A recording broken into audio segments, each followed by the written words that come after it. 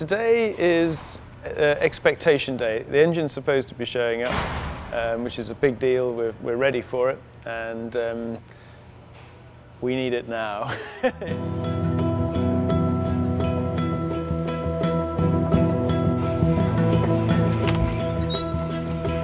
Hey guys, your engine's here. Do you want to um, open this thing and see what we've got in here, Zach?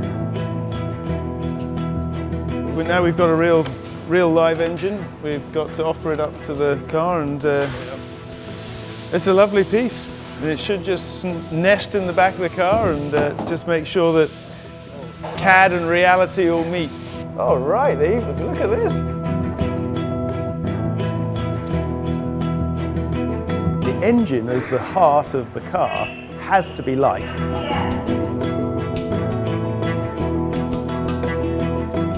Whole car was conceived around a very small, lightweight, low displacement engine and um, this is the perfect engine. Oh yeah. The engine in the Delta Wing is a Nissan 1.6 DIGT turbo. Very similar in structure to the engines that we've got in our Juke product.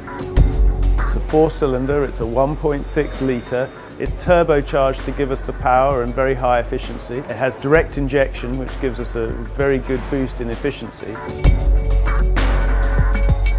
And uh, it's only going to rev to around 7,500 RPM, so just like a road engine today. So we can get away with that tiny little fuel cell doing um, nearly 110 miles around Le Mans. So that's uh, exciting. It's bloody good little design that's all laid out.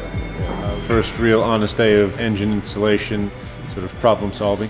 I think the satisfaction will come uh, when we fire the engine for the first time.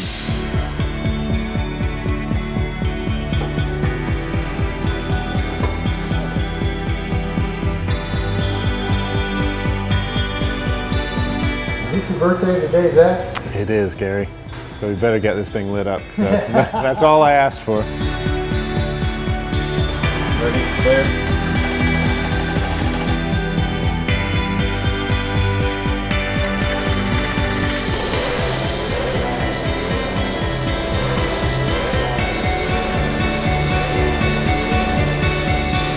Happy birthday, Zach. Yeah.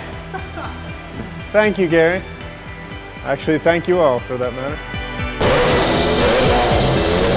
Hard to start it for the first time, so that's a pretty massive accomplishment. We have an engine, it's in the car, it runs. It's a big day. I mean, it's many big days to come, and um, it's good.